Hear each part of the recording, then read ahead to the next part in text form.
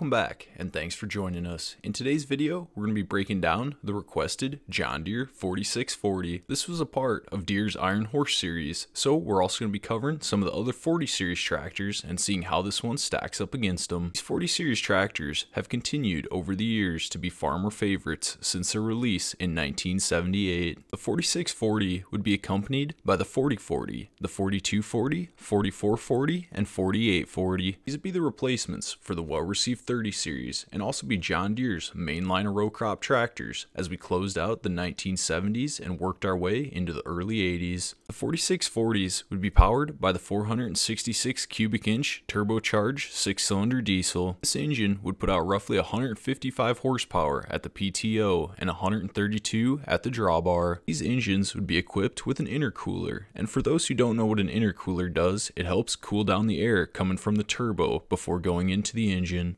Tractor was designed to be a workhorse in the field with its main objective of pulling bigger implements, and that's why the fuel economy isn't the greatest. And this is why a fair amount of these you see today have the added on extra fuel tank in front. The 4640 being one of the larger John Deere row crop tractors available at the time, it's no surprise that this thing would weigh in at 13,419 pounds, but was able to be weighted down to nearly 16,000. The base weight of the 4640 was 40 pounds heavier than the 4630 that had come to replace. John Deere would credit this weight increase to more support and a more heavy duty tractor. This added beefiness over the 30 series tractors, John Deere would use the slogan, more horses, more iron. Being one of the larger tractors in the Deere lineup at the time, let's see how this compares to the other 40 series machines. The smallest tractor in the 40 series line would be the 4040, and this would come in at roughly 100 horsepower. You'd see Deere increase the horsepower as we went up in tractor size, roughly 20 horse between each of these tractors. That is, until we hit the 4640, which it was roughly a 30 horse increase. The 4240 and 4440 would be John Deere's popular sellers out of the lineup, but that isn't to say there wasn't a need for the bigger tractors, such as the 4640 and 4840. The 4640 would come with a couple different options that were made available to farmers, one being hydraulic front wheel assist, which isn't quite as desirable as John Deere's newer tractors where they'd use mechanical front wheel assist. This hydraulic front wheel assist option would be roughly a six to seven thousand dollar upgrade off the base two-wheel drive package. For hydraulics, this tractor would come stock with two selective control valves, but you'd have an option to add on a third. The hydraulic pump that would power these valves would flow roughly 23 gallons per minute. For our power takeoff, we'd only get the option for the inch and three quarter 1000 RPM PTO. On the transmission side of this thing, we'd get the 16 speed power quad or the 8 speed power shift. Both of these transmissions would give you a top speed of roughly 19.5 miles per hour. The 40 series line of tractors would run up until 1982. Now let's take a quick look at these machines and what the cost was in 82. Based upon the MSRP of these tractors, we don't see a big jump in price from the 4040 to the 4440, but we do see an $8,000 jump going up to the 4640 coming in at 46,000 and the 4840 which came in at 57,000. In the 5 years that the 4640 occupied the assembly line in Waterloo, Iowa, John Deere would turn out 24,729. Across the board, John Deere would beef up the rear ends and transmissions compared to what they had previously in the 30 series line. They would also make small adjustments in the cab, making the seat more comfortable to ride in, as well as focus on making these engines better at starting. This would be accomplished by upgrading the injection pump. One specific upgrade from the 4630 to the 4640 would be the engine. 4630s were equipped with the Turbo 404 engine, which were good engines and had a good reputation, but I believe the reason they replaced it with the 466 in the 4640s was to get more low-end torque.